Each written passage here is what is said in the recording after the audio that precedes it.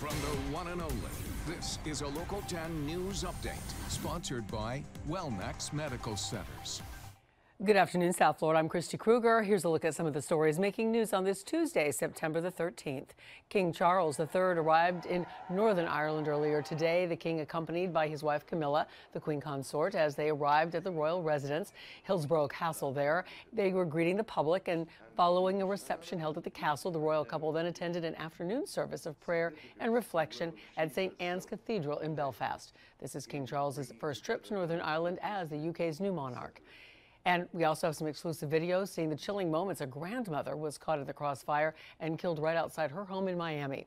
89 year old Elizabeth Lovell was shot and killed Friday night. She was sitting on a chair outside when that shooting began, two men running past her, bullets striking cars nearby. There was a shootout and Lovell was caught right in the middle of it.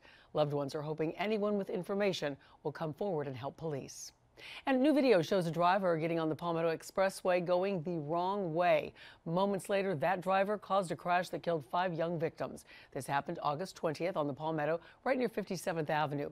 On Monday, the Miami-Dade State Attorney's Office released that new video that they're going to use in their case against the suspect, Makey Simeon.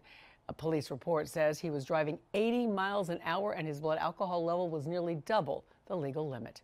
And firefighters had their hands full this morning in Allapattah, Sky 10 over this fire. This is at Northwest 32nd Avenue and north of Northwest 36th Street. The flames very close to a residential area lined by rows of palm trees, which you can see right there did catch fire. Miami-Dade fire officials tell us, though, the fire is now out. And as breaking news happens, we have you covered both on air and online. Head to local10.com for more local news coverage and updates all day long. Have a great afternoon.